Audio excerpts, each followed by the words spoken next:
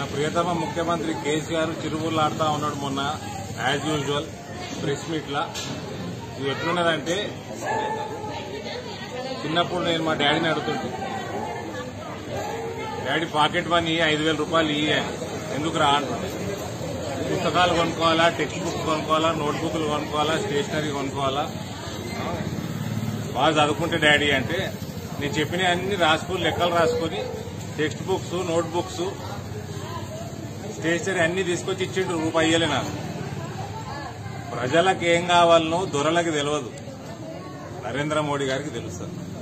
ఆయన ఏ స్థాయి నుంచి వచ్చిండు కాబట్టి కచ్లో భూకంపాలు కానీ అక్కడ గుజరాత్లో ఫ్లడ్స్ వచ్చినప్పుడు కానీ అవన్నీ ఆయన దగ్గరుండి చూసినప్పుడు ఇట్లాంటి విపత్తు సమయాలలో ప్రజలకి ఏం కావాలో ఆయనకు తెలుసు కాబట్టి డైరెక్ట్ డైరెక్ట్గా ప్రజలకి మేలు జరిగేటట్టు ఆయన ప్యాకేజ్ బ్రహ్మాండమైన ప్యాకేజ్ రూపొందిస్తే ఎన్నడి చరిత్రలో ఎన్నడి లేని విధంగా అంత పెద్ద ప్యాకేజ్ ఆయన రూపొందించి నిర్మలా సీతారామన్ గారు అనౌన్స్ చేస్తే దాని మీద కూడా శివ రాజకీయాలు చేస్తా ఉన్నాడు. టీఆర్ఎస్ వాళ్ళు శివాల మీద ప్యాలాలు కాదు పసుపు కుంకుమ కూడా ఏరుకునే రకాలు ఇల్లు. ఆయనకి ఎంతసేపు హెలికాప్టర్ మనీ ఎఫ్ఆర్బిఎం పెంచండి. హెలికాప్టర్ మనీ ఏ రకంగా ప్రజలకు అందాలనో ఏ ప్యాకేజీలు ఏ రకంగా రూపొందించాలో కేంద్రానికి బాగా తెలుసు. తమరిచ్చే సలహాలు ఇచ్చిండ్రు. వినేటి వింటరు.